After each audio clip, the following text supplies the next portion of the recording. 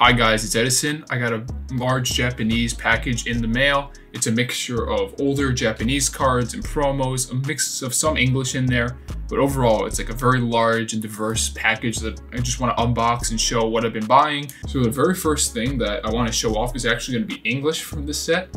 I did purchase it in Japan, but it was from a Japanese seller. It is going to be, uh, it was an English shadowless binder set so it had a very it had three shadowless holo cards on it. The first ones are going to be the holo cards, which is where's a Mewtwo shadowless holo in pretty good condition, honestly. Uh, if you don't know, shadowless is just missing the shadow that becomes like the staple in all Pokemon cards after the set. And if we look at the back, it's pretty clean. I've sleeved these up. They came. I'm a little disappointed with this seller he listed it with pictures of the cards in the binder, but when he actually shipped it out, he threw all the cards into a team bag unsleeved. And I guess I should give a price as well. I paid around 340, I believe. That was like after conversion to Jap uh, from yen to USD. Shadowless. Mewtwo Shadowless Zapdos.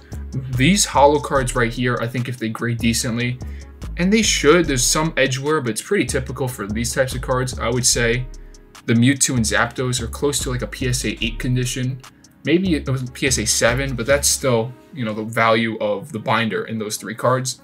And then the rest of it was, these are like the good ones that I think are worth grading. Electro, Dratini, Kadabra, Dewgong. Then you obviously have to grade your shadowless starters. So you have Squirtle. Well, actually, let me just jump ahead. Charmander, there was three, and then a Bulbasaur. And that wasn't it. The rest of the binder was like these cards like a first edition Wartortle that was kind of beat up, first edition Poliwhirl that's beat. A lot of these I think are also in good enough condition to grade. And what I'll probably end up doing is I'll take all of these, I'll sleeve them up and throw them in a team bag. And every now and then, if I need to get cards together to do a submission to CGC or PSA, I'll figure out what cards of these that I do want to send in. Next up, I want to talk about a pretty boring thing. This is Illustrator Charizards. This isn't the first time that I've been buying, but I've bought these from Japan and got them in. This is just 60 more that I've picked up over the past month of like mid-December until late December. So like three week period that I was buying more of these because the price got even cheaper in Japan. So, I mean, this is very straightforward, 60 versions. I got 20 or so in previously. I sent some off to grade at CGC and I sold the rest. And I don't know if I've showed this artwork on camera, but it's very, very nice. It's this was art done by a fan in an illustrator contest in Japan. So if my recommendation is if you have like money set aside, right now it's like $25, $30 on eBay. You really should pick this up. It's Japanese exclusive fan-made art. You can't really go wrong. In the same vein of cards that I'm trying to pick up bulk of, here we have the Kanazawa Pokemon Center opening promo. It's Pikachu wearing this beautiful kimono with the Kanazawa Pokemon Center logo there. You can see Pikachu's riding the Milotic. There's another promo of the Milotic. I also have that, but it's not in this haul. But yeah, this one I only got 10 of, and the price of this card has gone up. I think it's like $30 now in English. Oh, well, on eBay, I should say. It's definitely worth it for the quality of the card you're getting. That artwork is just stunning. I personally prefer stamped Pokemon Card Center cards. Uh, there are some that aren't stamped like that, but this is just one of those unique artworks. Pikachu promos like this typically don't come over to English either. So I always say that if you look at any Pikachu promo from the past couple years, they've gone up after release. So if you have an opportunity at the beginning, I would just buy them. Next up is a set that I'm personally a big fan of. This is the Japanese web series. I've shown a web dark Charizard in this channel before. I graded that with CGC. This is 20, I think 26 or 28 cards from the set. It was just one lot from a seller on Yahoo Japan. I, if you don't know the web series, I should say, it's a Japanese exclusive line. I think it launched 2001. It was in commemoration of some online like web program the Pokemon Company was doing in Japan, and they did like reprints of art. It has the e-reader border, but you'll see what makes it unique is that it has the web logo in the bottom left-hand corner. I'm just gonna go through these quick. I paid around $110 for 26 of these. Uh, and what they did too is, as you can see, they reprinted the artworks from other sets. So this is the base set Charmeleon art. This Wartortle art comes from some other set. This is base set Voltorb. We're just gonna go over some. And the main card that I wanted out of this was the Nidoking web card. Let's see. I'm gonna pretty much just grade all of these. And this is like a similar thing with the Shadowless lot that you saw, is I buy all of these at once, and then as I'm putting submissions together for grading, I'll just throw some of these cards in here. Next up is some more stuff that I bought for myself.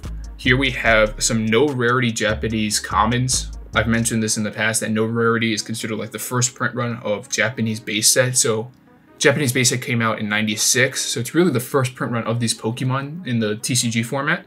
So we have Poliwag and Poliwhirl. You can just tell it's no rarity because they're missing the rarity symbol in the bottom corner.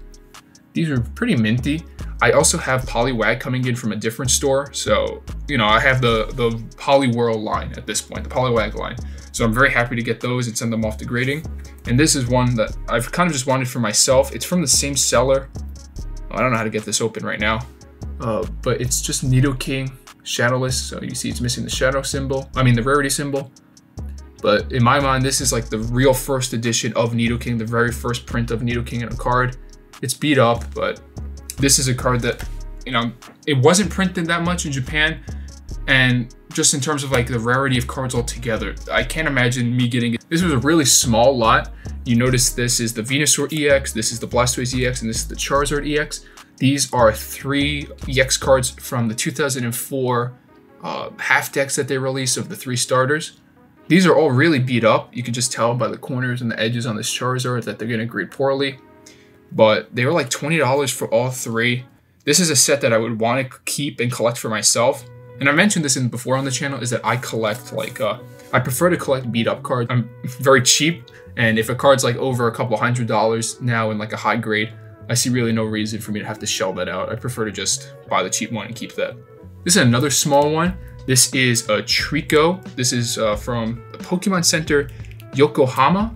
It's a Pokemon Center opening card, similar to the Kanazawa Pikachu that I showed.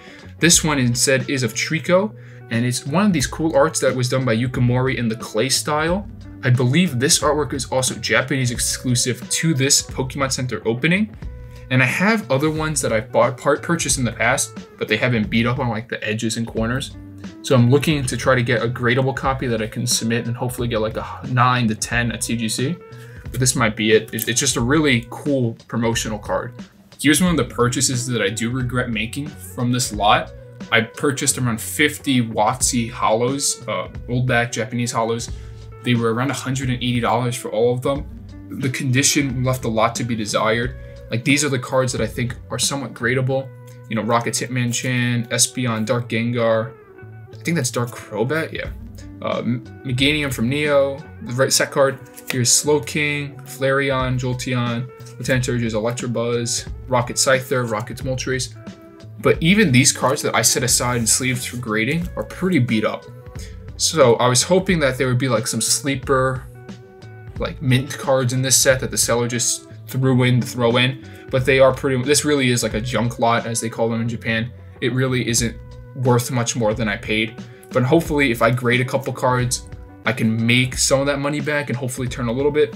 And the rest of these, if we just go through them, are just your typical WotC holos, but they have scratches and they're bent. And I don't know. I was really hoping, I was speculating on this Charizard, but I didn't know this because the seller didn't put a picture of it, that it has like this white stain on the back, which I think was a sticker that peeled off the back of the card. I do think these are good for like a binder set. So it's either I sell them as loose singles or I just make a binder set for myself. This is like the last main thing that I wanted to show for like this portion and then the rest of it's like this one giant lot that I purchased all together. These are six EX Emerald decks. These cards all became part of like the EX Emerald set in English. So it's very cool to see them in the Japanese form because there is no Japanese set that these cards came in. EX Emerald just took them from these half decks, or these decks, I guess. And yeah, I want to show these off on camera. This lot cost me 160 for all six, which seems like a lot you think about like these small theme decks, but for how hard EX is to find now in mint condition and how expensive those cards go for graded, to find these decks still sealed is great. I mean, they're, they're really small. Like, look at that. It's smaller than the size of my hand. This one has your right shoe EX on the front, and you can tell that like age has not been kind to these. There is like a bend on it. So I'm not sure. Uh, I kind of bought this. Oh, sorry.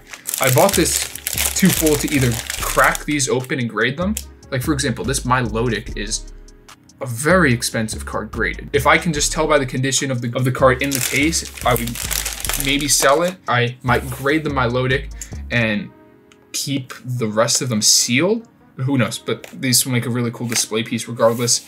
And if I do grade them, you obviously will see those on the channel. And these two I knew were open from the seller, so I just wanted to show the cards off that you come with. So just this is how it looks like open. It really is simple. You just open it up like that and it's just the cards. You have the first edition stamp at the top, some Japanese, the set symbol, uh, the energy symbol. Pull these out. Here we have the Camerupt EX. Yeah, this one's a little beat. There's like a lifting on the bottom corner. And I just wanted to see, oh, you get like a little rule book, which is typical. I guess he actually might have just pulled it up like this and kept it. I want to quickly show the cards, Camerupt EX. Then you just have the rest of these. These are just deck cards. There are some good arts in here. So I don't know, maybe I'll put the rest of these up as singles on my eBay. But it's a very small amount of cards. It actually is half a deck, so I guess it makes sense why they call it like half pre-constructed. But yeah, I'll probably just grade the open EXs and decide what I do with these at a later date. And this was the final, like, this was the bulk of what I purchased, was this giant collection that I saw on Yahoo Japan. All right, first off is this binder. This is, I think from the movie. It's official Pokemon product 2006. Dirty, kind of disgusting, honestly.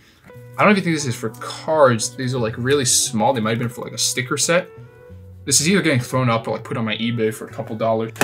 I assume that the seller that I bought this from was just clearing out his collection. Uh, I went through like his feedback and he'd been selling lots previously, a bunch of lots. Okay, this is just the storage case with a bunch of energies in it, so nothing really fancy here. Here's my shoebox cards. Uh, I saw this in the photo for the listing. This was just a mix, I think, of a bunch of Japanese old promo cards. You have like a bent up Latios, McDonald's. This is a bent up 7-Eleven Pikachu. I think the legend card was a promo as well. These, I'm not honestly that angry to get these. Uh, mostly because like I sell I sell Japanese singles for a couple dollars a piece on eBay. So to get like a bunch of these at once is worth it. This is probably like a thousand plus cards in this binder as well. Uh, in this box, it'll take me a long time to list everything. But if you can get two, three dollars a card, you know, you pay 50 cents to ship it. I think I can make a decent amount back just from these garbage singles. And here's the last binder, I believe. Oh, actually, let me, actually, this is another one of the binders I came with. Uh, I, am trying to get this point out that I think this was like an old collector or player of the TCG. He was just selling everything that he had off. And here's the last thing. This was the binder that I kind of, this was like the main cards that I tried to get and purchase. This is the reason I bought it was for these. So we have Crystal Lugia, oh sorry, two Crystal Lugias, a Crystal Charizard, the Mew from Delta Species, the Delta Species Charizard, Delta uh, Gold Star Celebi, Gold Star Alakazam. Here we have Gold Star Jolteon. Oh, this is how they open up. Pretty nice way. Here we have just a Victory Medal or trophy card. Then the rest of these are just 100 something EX error cards. I think this is another reason why I bought it. I want to get all of these in and hopefully grade some copies.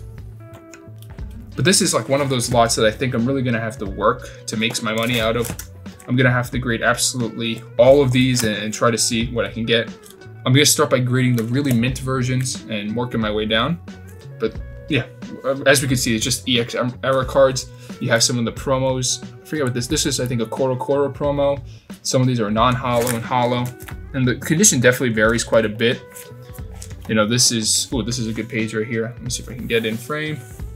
Just a bunch of Rayquazas. These go for a decent amount in a good grade. And even as like a, a loose single, maybe like 20 bucks. And then we have some level X cards at the end. Oh, sorry. Some level X cards that are beat up. Some prime cards. Let me see. Well, this is a good one in the bottom. It's a Domino's Prime, uh, Slowking Prime. Yeah, this is a, the Heart Gold Soul Silver era. And the very end, we just have some Delta species. So the crux of this set was pretty much this binder is what I paid a lot of money for, and then the loose singles that I'm gonna have to try to sell and get my money out of. Thanks for watching. This was, you know, a iffy video. I do think I'm still fine with what I bought and I'm happy to grade all of it and see what I get. So yeah, thanks for watching. I always appreciate the support. I have another video I'm working on that's gonna take me quite a bit of time, so I'll get back to you on that. Have a nice one, guys.